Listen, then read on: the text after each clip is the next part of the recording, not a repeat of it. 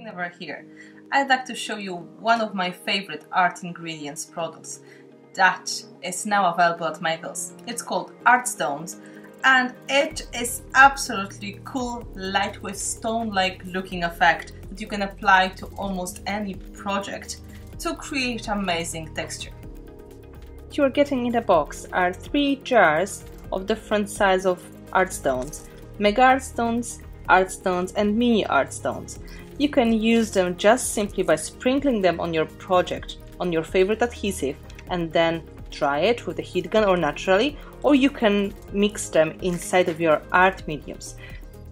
Modeling paste or 3D gel will be perfect choice. You can find them in the essential pack from my um, collection.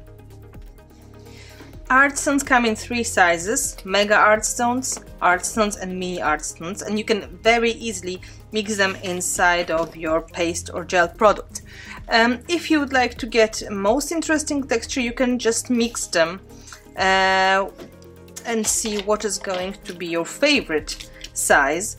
I'm going to use 3D gloss gel as my base, not too much because we only need a tiny bit of paste and I'm adding mini art stones and maybe just a couple of regular art stones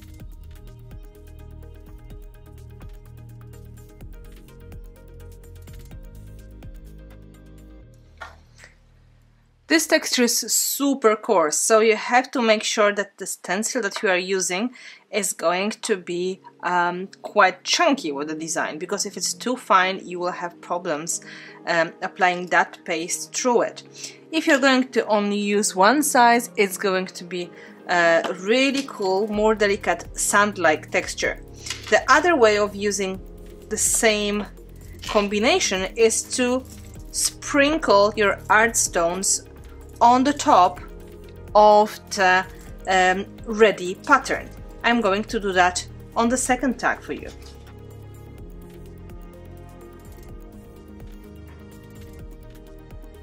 You can see similar effect to the one I just showed you on this project. I was using damask stencil and here you can see mini art stones sprinkled on the top and then I was using sprays and paints. This is really, really rewarding effect, really beautiful. But uh, one of the most important things that you can use Artstones for is filling the gaps in your projects. You can see on this canvas that I was using pearls and art stones of um, different sizes to fill the spaces in between my embellishments.